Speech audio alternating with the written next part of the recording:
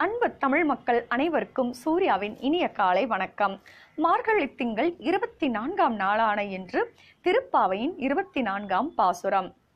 அன்று இவ்வுலகம் அளந்தாய் அடிப்போற்றி சென்றங்கு தென்னிலங்கை செற்றாய் திரள் போற்றி பொன்ற சகடம் உதைத்தாய் புகழ் போற்றி கன்று குணிலா எறிந்தாய் கலல் போற்றி குன்று குடையெடுத்தாய் குணம் போற்றி வென்று பகை கொடுக்கும் நின் கையில் வேல் போற்றி.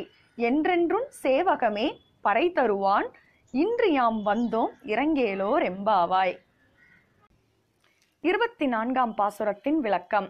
முன்னொரு நாள் வாமன அவதாரத்தில் மூன்றே அடிகளில் இந்த உலகையே அளந்தவன் எம்பெருமானாகிய நீ. அப்படிப்பட்ட உன் திருப்பாதங்களுக்கு நாங்கள் பல்லாண்டு போற்றுகின்றோம். பின்னர் ராம அவதாரத்தில் தென்னிலங்கை மீது போர் தொடுத்து கொடியவனான ராவணனை அழித்த உன்னுடைய வீரத்திற்கு நாங்கள் பல்லாண்டு போற்றுகின்றோம். இந்நாளில் கண்ண அவதாரத்தில் உன்னுடைய மாமனான கம்ச மகாராஜாவால் அனுப்பப்பட்ட சக்கர வடிவிலான சகடாசுரன் என்கின்ற அரக்கனை உன்னுடைய பிஞ்சு காலினால் எட்டி உதைத்து கொன்றாய். உன்னுடைய செக்கச் சிவந்த அந்த திருப்பாதங்களுக்கு நாங்கள் பல்லாண்டு போற்றுகின்றோம். சற்றே நீ வளர்ந்த பின்னாளில் கன்று வடிவில் வந்த அரக்கனை நீ தூக்கி சுற்றி சுழற்றி எரிந்து வீசி கொன்றாய். உன்னுடைய வீர கலல்களுக்கு நாங்கள் பல்லாண்டு போற்றுகின்றோம்.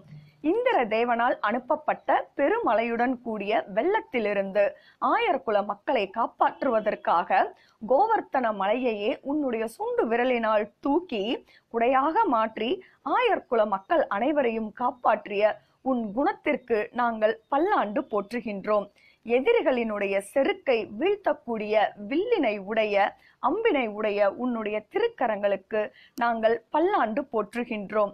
இவ்வாறு உன்னுடைய வீரத்தினையும் புகழினையும் நாங்கள் பாடி பாடி பல்லாண்டு போற்றி மார்கழி நீராடி நோன்பு நோற்று உன்னிடம் பறை பெறுவதற்காக வந்துள்ளோம்.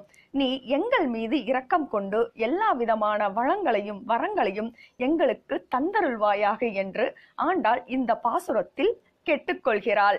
அறுசுவையானது எவ்வாறு நாவிற்கு சுவையை அளிக்கிறதோ அது போன்று இந்த ஆறு விதமான பக்தி போற்றியும் படிப்பவர்களுடைய மனதில் பெரிய பக்தியை ஏற்படுத்துகிறது என்பதில் எல்லளவும் ஐயமில்லை.